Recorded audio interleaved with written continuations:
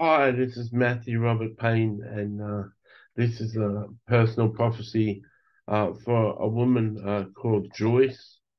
And uh, uh, if you're just tuning in on YouTube and watching this, uh, this is just a, a typical prophecy, and you can go to the description tag underneath the video and find my website and request your own prophecy.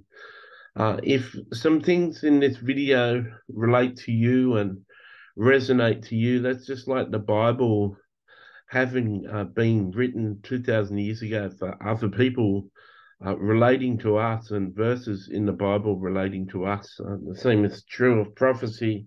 It can be for another person, but it can also relate to us. So uh, if you're watching this prophecy, please enjoy it and uh, get uh, what parts of it uh, that uh, make sense to you for yourself. But uh, this is for Joyce, and I'll just pray, uh, Joyce, and commit this to the Lord and give you a prophecy. So, dear Father, I pray that you would give me a word for Joyce. A word to bless her, encourage her, and lift her spirits up in Jesus' name. I ask, Amen. I, I get a sense uh, of uh, Jesus and the Father and and the Holy Spirit. Uh, uh, I'm going to title uh, this uh, video "We Want to Be Your Friends," and uh, I sense that uh, the whole Trinity, each one of the three, I'm hearing the voices of the whole three uh, a sense that uh, they want to take you into a level of depth of intimacy which is uh, really rare uh, for the average person. Uh, there's not uh, many uh, christians at all not a high percentage of christians not more than 5% of christians develop an intimate relationship with uh, God, Jesus, and the Holy Spirit, and uh, a sense that each of them uh, want to uh, develop a highly functional uh, relationship uh, with you. Um, I have a service called the Prophetic Destiny Blueprint, where I list nine things that a person is called to. And uh, I, uh, uh, without doing the destiny blueprint, I can see that you're called to be a prophet, you're called to be a seer, you're called to be a friend of God, you're called to be a writer, you, are called to be a, a, a, visitor to the heavenlies, uh, you're called uh, to be a mentor, uh, a mentor and coach you're called to be apostolic, which is to move in uh, all the fivefold ministry. Uh, so there are a number of things that you're called. Um, I, I, uh, uh, you're called to be a teacher. Um, I, uh, I sense that uh, you're going to have develop like a really strong and working uh, relationship uh, with God.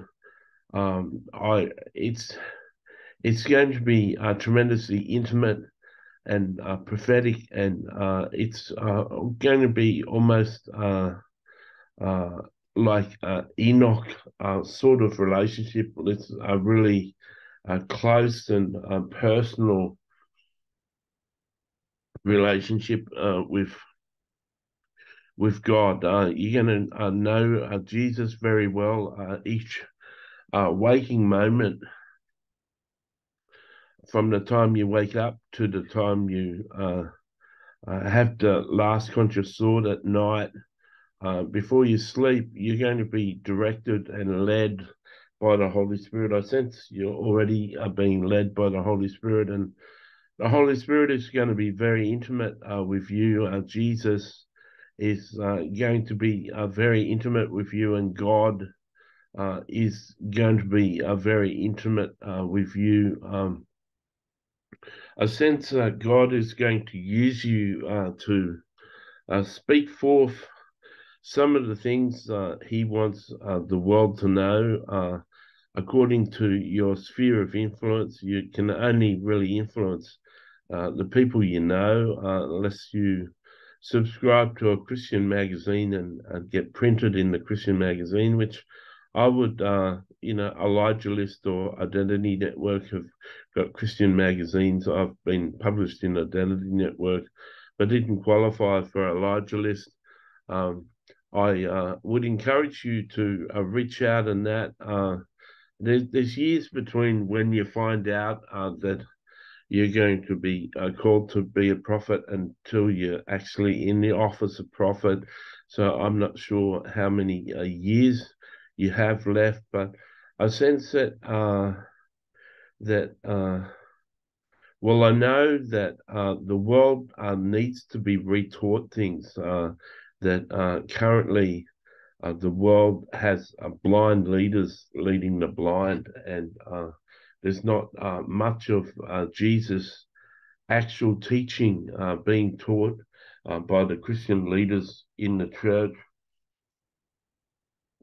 and Christians really need to be uh, taught uh, what Jesus taught and really need to be walking in what Jesus taught. Jesus said in Matthew 7 Whoever hears these sayings of mine and does them will be likened to a wise man who built his house upon the rocks. When the storm came, the house remained, but he who hears these sayings of mine and does not do them uh, he'll be likened to a fool who built his house on the sand, and when the storm came, his house fell. And uh, the majority of Christians in the world uh, don't understand uh, Jesus' parables and uh, his teachings, and so they haven't built their life upon the rock. And uh, and they'll find in coming years that as tribulation comes, that uh, many of them will fall, and uh, a sense that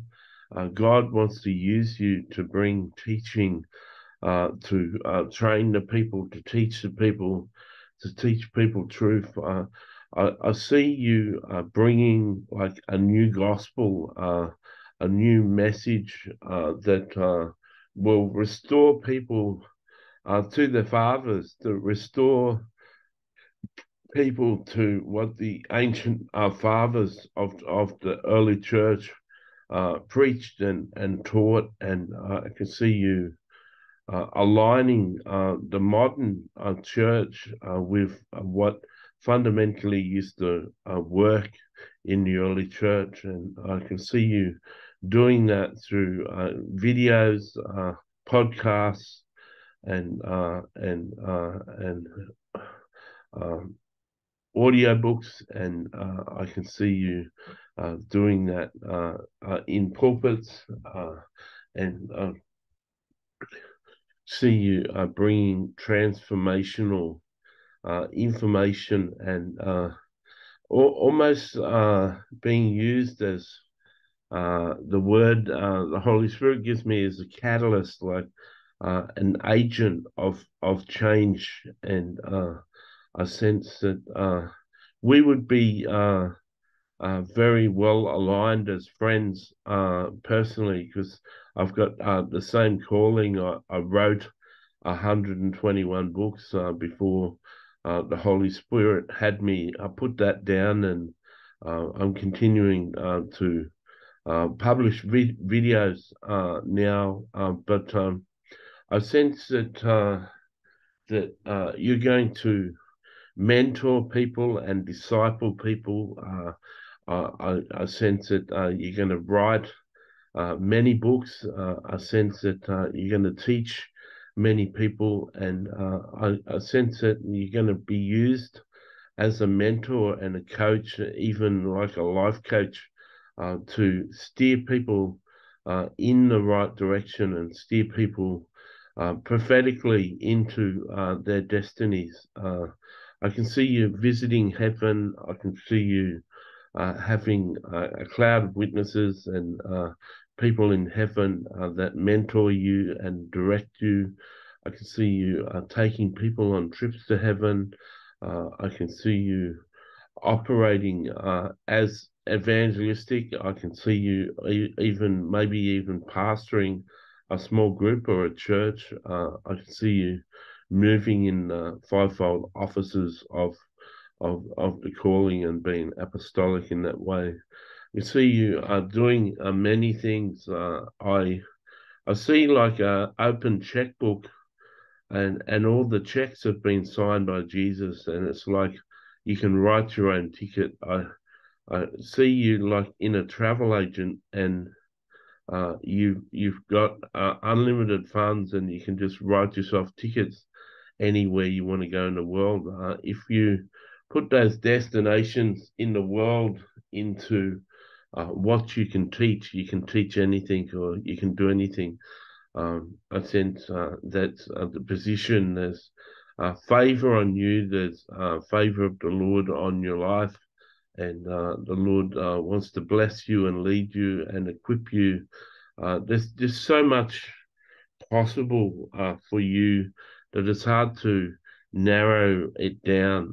But I sense the number one strength um, that uh, you have is uh, that uh, we all want to be close to you. the Holy Spirit, the Father, and Jesus all want to be close to you and and want to lead you and direct you and be intimate uh, with uh, with you. Uh, pray that this has blessed you. Uh, you're already a friend of Facebook. Uh, I look forward to speaking to you at length. God bless.